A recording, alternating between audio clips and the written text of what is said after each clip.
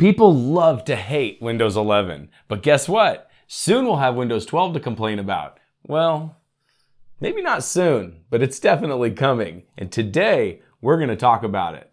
Stay tuned. That's right, Windows 12 is due to be released in late 2024. We honestly don't know much about it. In fact, we don't even know if it's going to be called Windows 12. Currently, it's simply referred to by its code name Next Valley.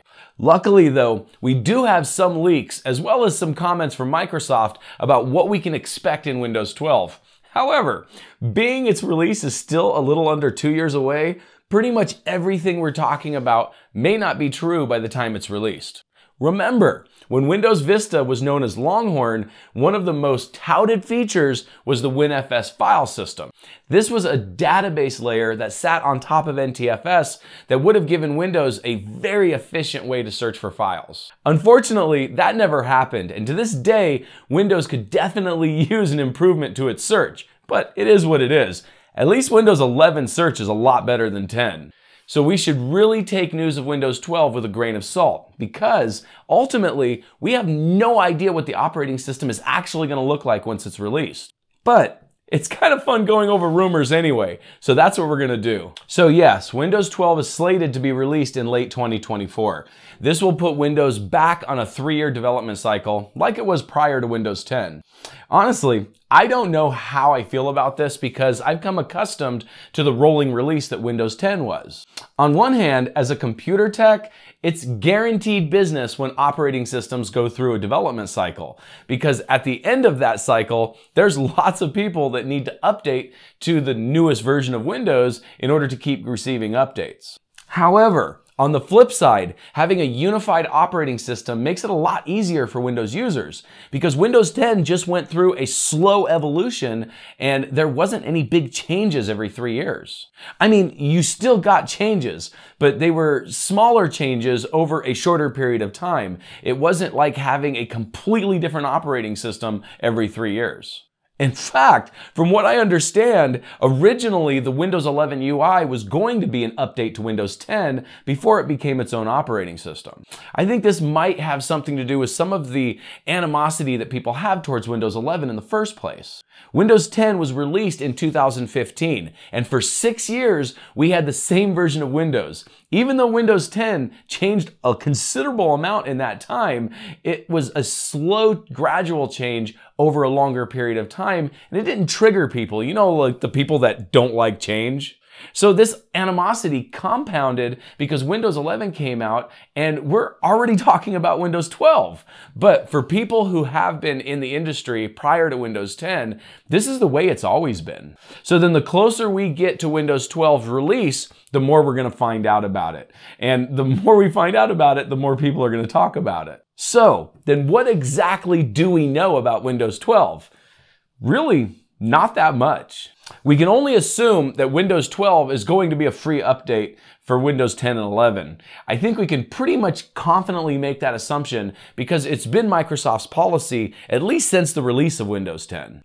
Another thing that I think can be assumed is that Windows 12 will likely have a faster adoption rate than Windows 11. And I think this is because Windows 10 will lose support shortly after Windows 12 is released. So many people will simply skip Windows 11 and go straight to Windows 12. One of the features coming to Windows 12 that we don't have to assume about though is AI integration. At CES this year, Panos Panay with Microsoft was talking to Lisa Su at AMD talking about the hardware and software that will bring AI to the desktop. Does this mean that instead of Cortana, we'll get some version of ChatGPT? Uh, I don't know, but according to Panos Panay, we're going to see artificial intelligence like we've never seen it before. I honestly don't know how I feel about that. I mean, yeah, it's cool. But at the same time, it's kind of terrifying, isn't it? I wonder if these people have ever actually watched movies like Terminator and The Matrix. Allowing computers to think doesn't typically work out very well. But I guess we'll just see how it goes. If we become slaves to the machines soon, then I guess we had a good run.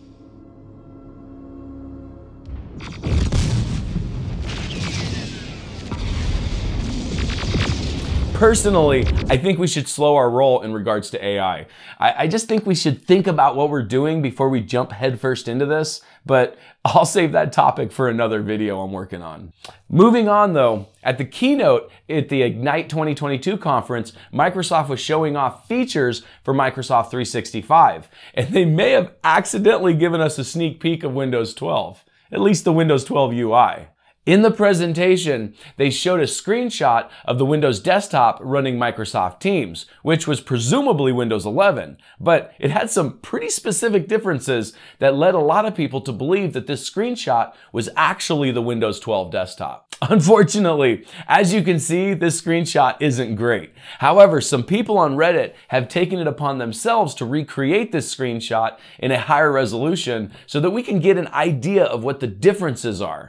As you can see, the taskbar at the bottom isn't docked to the edge of the screen anymore, but instead it's floating at the bottom of the screen. Also, across the top, you can see the weather to the left as well as the Windows system icons and clock have been moved up to the top right hand corner. You can also see a distinct search bar at the top center of the screen. I'm not sure what to think about this UI yet. I can already tell you that I don't like the stuff at the top of the screen, but I do like the floating taskbar. Hopefully all this will be customizable. If Microsoft doesn't make it that way, then we'll figure out a way to do it anyway. But I have no doubt you'll be able to turn off the weather icon and the search bar because you can do that in Windows 10 and 11. However, it would also be nice if Microsoft allowed you to move the system icons and the clock back down to the taskbar at the bottom. But you know, I can seriously see this being a thing. Now Microsoft won't be accused of making Windows look too much like an Apple. No, now it looks like Android instead. but we're just going to have to wait and see. This might be one of those issues that we run into with Windows 12. I mean, you still can't move the Windows 11 taskbar to the top or the sides of the screen. So maybe Windows 12, you'll be stuck with the clock at the top right hand corner. Who knows?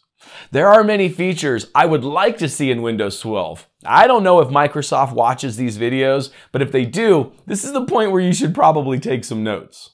Some of the things that I think would be nice to see in Windows 12 would be for one, usability at all performance points. For instance, there are some services that simply are not necessary based on a person's hardware configuration. I mean, Windows is already smart enough to know not to defrag an SSD, so why not shut off the system main service if an SSD is detected? Or even have a more scalable Windows search service that doesn't beat the crap out of the system if you only have a dual core processor. Th this would be doable. I mean, Microsoft definitely can make that happen. It would also be nice to see a version of Windows without all the bloat. I realize this is probably not going to happen, but it would be nice if Microsoft didn't include sponsored apps at the absolute minimum. I mean, you know, we don't want Facebook, Twitter, TikTok all pre-installed on our computer. Uh, you know, it's great that we have those apps available, but let us install them if we want them. Another feature that would be really cool in Windows 12 would be better phone integration. I use an app called KDE Connect that was originally created for the KDE desktop environment in Linux. Luckily, this app is available in Windows now, and it's a great way to interact between your phone and your computer. If I get a text message, I have a notification come up on my Windows 10 desktop. If I snap a picture with my phone, I can share that picture with my computer. It's actually a pretty powerful program. But features like this should already come built into Windows. I mean, who doesn't use a smartphone and wish it was a little easier to have your desktop and your smartphone work with each other? I mean, obviously Windows 12 is going to look like Android anyway, so you might as well integrate Android at a higher level, right? Another feature that I think would be really cool to see in Windows 12 was the ability to use classic modes. I don't know how many people watching this video remember Windows XP, but when Windows XP came out, it had a new start menu at release, and a lot of people didn't like it. But Microsoft gave you the option to go back to the classic start menu from Windows 98. How cool would it be if Windows 12 was able to switch the UI to like Windows 10 mode or Windows 7 mode? I bet you that one change would make Windows 12 the most popular version of Windows to ever hit the market. I mean, seriously, it could blue screen every 10 seconds and people would still like it better than Windows 11 just because of that one feature. Okay, all right. I might be exaggerating just a little bit, but Microsoft, seriously, make this happen. Give us classic desktop modes. But either way, that's what we know so far. The closer we get to Windows 12 being released, the more we're going to find out about it. Maybe we'll even get lucky enough to get an early beta leaked like we did with Windows 11. And also, I just have to reiterate, I'm dead serious, Microsoft. We need classic desktop modes. Seriously, let's make this happen. But in the meantime, if Microsoft doesn't make that happen, then check out this video where I show you how to make Windows 11 look like Windows 10. I'm sure I'll be doing another video just like that when Windows 12 comes out. But as always, you guys have a great day.